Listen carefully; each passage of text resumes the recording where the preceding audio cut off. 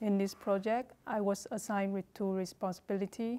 Firstly, I was responsible for taking videos and photographs for different angles for this behind the scene shot. Uh, for those behind the scene shot, I just have to make sure that I do not appear in cameras. Secondly, I had to work on the teleporting effect in post-production.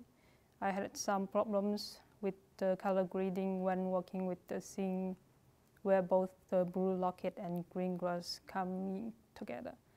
Also, I had problem with the moving clouds in the beach, beach scene when I editing the uh, first teleporting effect.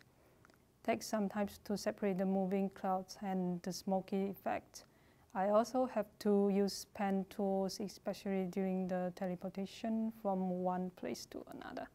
Uh, for this project, I was assigned with uh, two responsibilities. My first role is during the production phase, and my second role was in the post-production.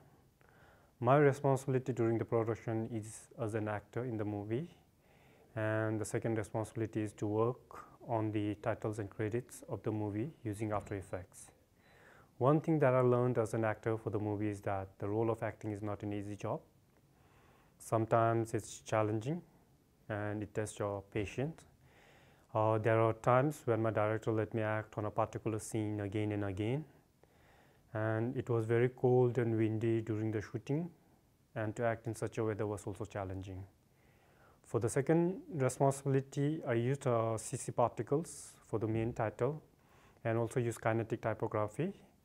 In order to create a title using CC particles, I have to go through several uh, tutorials online and for the kinetic typography effects, the lesson I've learned in the class helped me a lot. Uh, hi, uh, for this project, I assumed the role of a director and also the video editor. Uh, I was in charge of the sound and the rough cut and also preparing behind the scene videos. I had to work with the soundtrack and also um, consult with my teammates uh, before I come to a conclusion. Uh, during the production phase, uh, we had a lot of issues with the weather. it just kept changing, so the footages were all different. I also had to take care of the final color grading.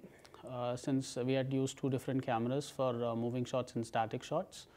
Uh, it was a huge issue because the white balance range on both the cameras were very different. both the footages looked very different and we had to do a lot of work in the color correction and post production. Uh, the sound came out to be pretty well. Uh, we did not have any dialogues in our scene.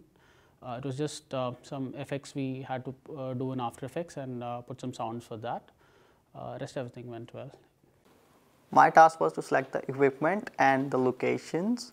So I selected the equipment by keeping in my mind that we are shooting outside, so we should have a proper equipment for that.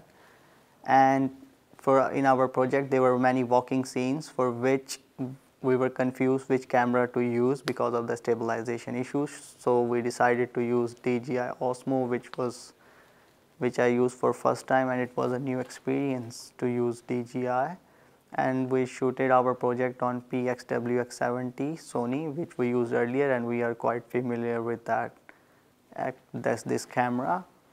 The difficulties was to select the locations and especially to select the locations where there is no more public so that it's easy for us to shoot